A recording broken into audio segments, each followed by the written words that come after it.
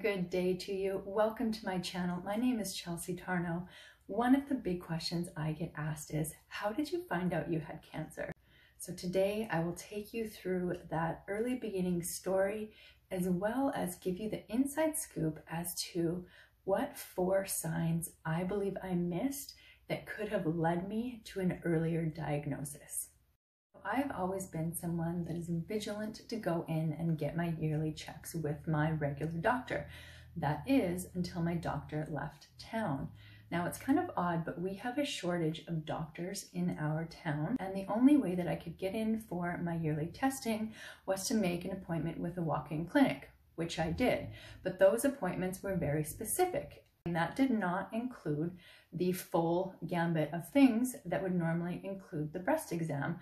So feeling uncomfortable with that, about three years ago, I made an appointment specifically to have my breast checked by the doctor and I expressed my concerns that I wanted further screening. I don't know why, I just told her I would like further screening and she told me that I am too young to have breast cancer concerns and she sent me on my merry way. Since then, I had not been in the regular practice of doing breast exams because I didn't feel, based on her recommendation, that it was something that I needed to be worried about. It was about three years later, I was laying in bed with my husband, performing somewhat of a self-exam. I didn't really know what a self-exam meant. I was basically just getting to know my body and how it felt. And I was very surprised that I came across something that felt like something. So I asked my husband to confirm for me that I wasn't crazy and reluctantly he did and he confirmed. Now, I wasn't worried at this point. As I mentioned, I talked to the doctor just three short years earlier and she had said that I had nothing to be worried about with breast cancer. I had also heard murmurs in our family that cystic breast tissue is common in our family, which can feel like lumps in the breast as well. So I just assumed that that was it. I had made this discovery in late May of 2018. At the time, I was a full-time hairstylist trade teacher and I worked about 40 minutes from town, which meant when I was off work and I was able to get back to town, the walk-in clinics were not taking any more appointments. And I'm an eternal optimist and I'm a hard worker. So I just didn't feel like it was pertinent for me to take time off work to check out this thing that was probably nothing. It just wasn't a priority for me.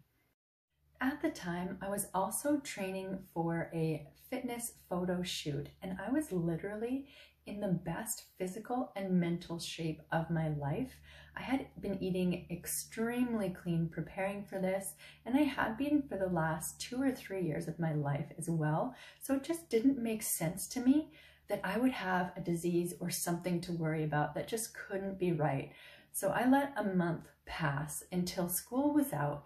And then my husband came back at me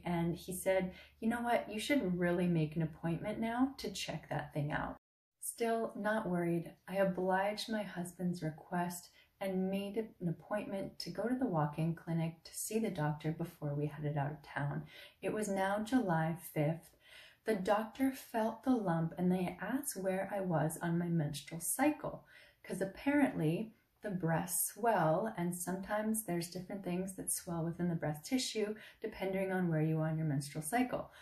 I guess I was in that magical time where that could happen. So I was asked to come back a week later um, to have it reassessed. They assured me that they were not worried at all, but it was just good to come back and check.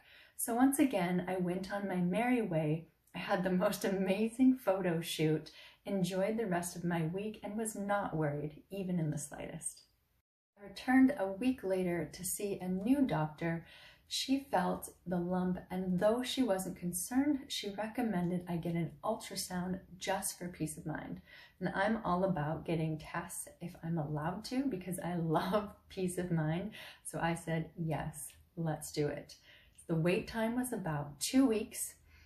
Two weeks and two days later, I was back in that same office, this time with the same doctor, but the tone had changed doctor had said that the spot came up looking irregular on the ultrasound, but once again was hopeful that it was just a cyst or a calcification.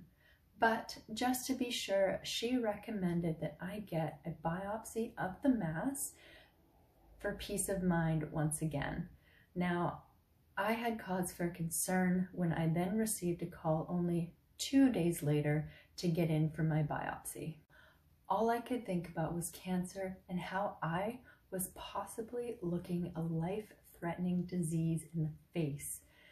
Those four days, I had to wait to receive the news felt like an eternity. The phone finally rang and it was my doctor. We were asked to get into the office as soon as we could. I sat there holding my husband's hand, my heart beating a million beats per minute, but my entire body holding its breath as we waited. We got the news. I was diagnosed with breast cancer. I have a lot more to share with you moving forward. So before we move on today, please hit subscribe so you don't miss out on anything. At the beginning of this video, I mentioned that there are four signs that I believe that I missed that had I realized what they were telling me, I could have found my cancer diagnosis sooner. Now, I am not saying that if you have any of these signs or symptoms that you have breast cancer. What I'm saying is this is my personal experience, and I believe these signals was a way that my body was telling me, hey, there's something going on. You should have that checked out. First sign, the mass was getting larger. So if I had been familiar with how my body felt, I would have noticed that there was a mass in my body that was getting larger. Now, it was measured with an MRI, and before chemotherapy at its largest, my tumor was 5 centimeters by 5 centimeters by 2 centimeters. That is the size of this stick of butter. So if you are familiar with how your body feels and something changes size, take note. Sign 2. It felt like a hard piece of irregular gum. So people have asked me before, like, what did it feel like? It didn't feel like that smooth stick of butter that I was showing you, or a nice round, like what I would pick a, picture a tumor to be like. It really did feel like it was pokey. It almost had sharp edges to it. So that could have been a very good tip to me that something was not right. Sign three my periods were becoming extremely heavy and the cramping was almost enough that it would make me have to throw up. This was not normal for me. I mean, I had been having my menstrual cycle for about 18 years prior to this, and it was just getting progressively worse and worse on a drastic scale for the last two years before my diagnosis. I don't know if it's directly related, but for me, looking back, that was a really big sign that something different was happening in my body and I could have looked into it a little bit more. Sign four, throbbing, sharp pains. I had been feeling these throbbing, sharp pains in my breast. I don't know how long, but I didn't think anything of it. It wasn't until I was diagnosed, I put together two and two that those pains were exactly where the cancerous mass was. If I had paid attention to that and brought it to my doctor's attention that something weird was going on in my breast, we may have found it sooner. Once again, I just want to reiterate that these are my four signs that I believe my body was telling me, hey, pay attention, something is going on.